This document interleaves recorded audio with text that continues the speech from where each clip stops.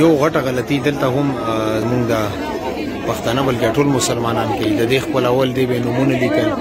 او د تسجده کول د شریعت بار سره ټیک نه دی ښه خلک په دې باندې کوی اول پکار دی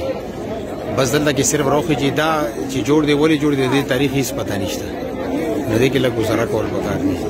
ځان ساتل پکار دی چې دسه باطل عقاید او ختمول پکار دی چې د وینو مولي کې بیا زه حج ته راځم او یا دا چې د خپل اول یا د سجده کول دا جایز نه دا ګوري خلک لګیا دي نو چې کم حج ولا